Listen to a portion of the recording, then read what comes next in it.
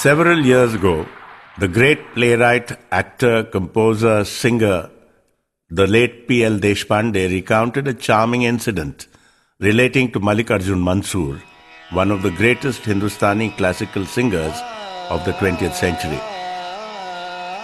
Whenever he was invited for a concert performance in Mumbai, Mallikarjun Mansur, a gentle and modest genius, exceedingly austere and simple in his habits, would come to stay with a friend in his working class chawl.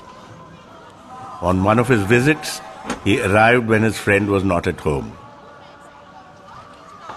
Always deeply immersed in his music with a Sufi like devotion, he would start to sing the moment he heard a rhythmic beat caused by the wheels of a railway engine, or a clock ticking, a pulse beat, or even the drip from a leaky tap.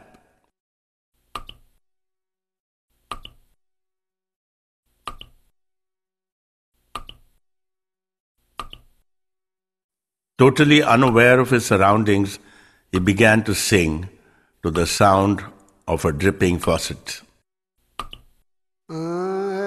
This turned into an elaborate exposition of one of his rare ragas, an incredible impromptu performance.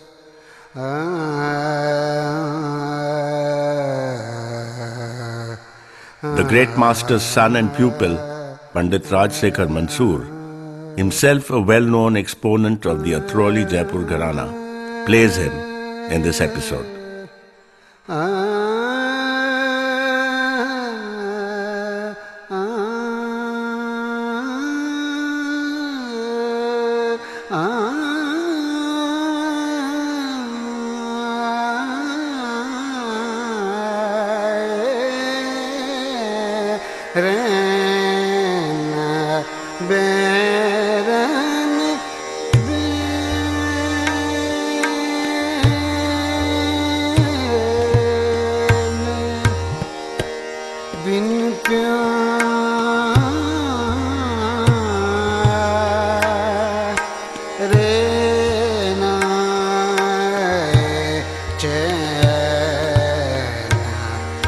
से कर मन समझाए